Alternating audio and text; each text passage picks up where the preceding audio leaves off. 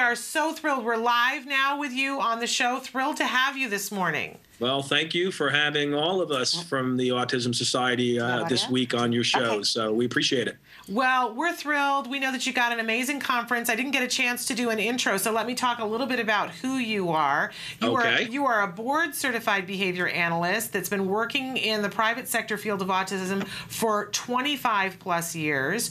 You're a featured author and on the advisory board of the Autism Asperger Digest magazine. You were the uh, your 2008 triple award winning book Early Intervention in Autism: Real Life Questions, Real Life Answers is amazing and out there, and people should be getting that. You are the chairman of the board uh, for the Autism Society of America. So this conference is very near and dear to your heart. And you are also on the Interagency Autism Coordinating Committee, the IACC. Uh, you were appointed to that in 2012.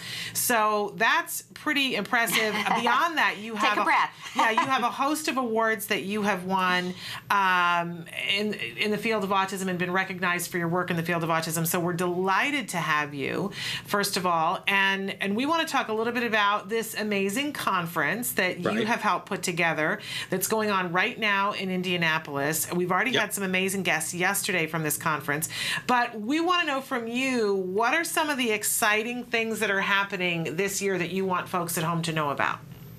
I think the biggest thing is um, from our feedback that we got in the Pittsburgh conference last year, a lot of people wanted more networking opportunities. So this year we've tried to make very um, small breakout sessions for people to get together and just chat about what's going on in the field of autism.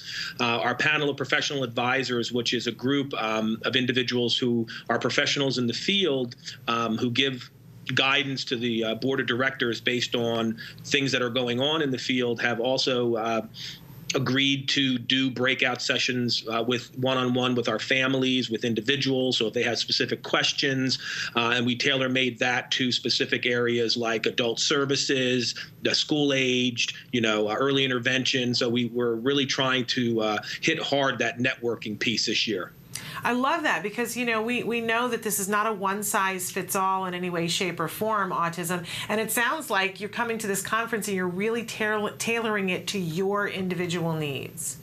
Last year, um, and I'll give all the credit to the Autism Society of America staff, Scott Badesch and his crew, who's our president and CEO, um, did a very good uh, job last year of making sure that they got as much feedback from the participants as possible. Uh, and Richard Wolf uh, was our um, I guess, master of ceremonies last year, and he went and talked to all the participants to, again, get why do you come to the conference? What are you looking for? What do you need? Um, and we really based this conference on all of the evaluations that we got last year. What have you learned from parents participating in these conferences? Uh, we're unique in the fact that for a vast majority of our affiliates, which we have 106 throughout the country, um, they are parents of people on the spectrum, but they're also professionals. Um, so they wear two hats. So for the first part of the conference, they're here to do the work of their affiliate. So if they're from Illinois, if they're from Indiana, if they're from New Jersey, they're here to gain information on how to bring it back to provide resources in their own communities. So the first couple of days they wear that hat. The next couple of days they wear the hat of a parent. Um, so they're trying to gain as much information about their individual children. So our families, you know, are always trying to figure out more information and trying to get more resources for their kids on top of providing those resources for the community.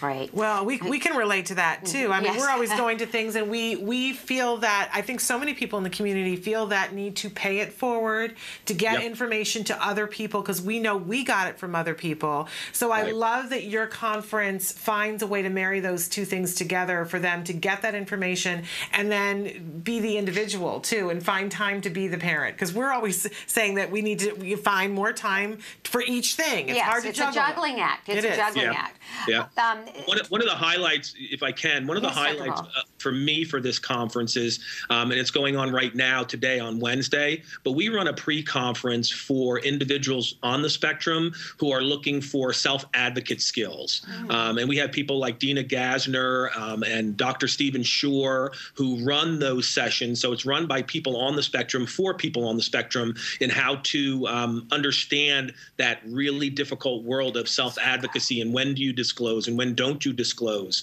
Uh, and I think that's a unique part of our conference.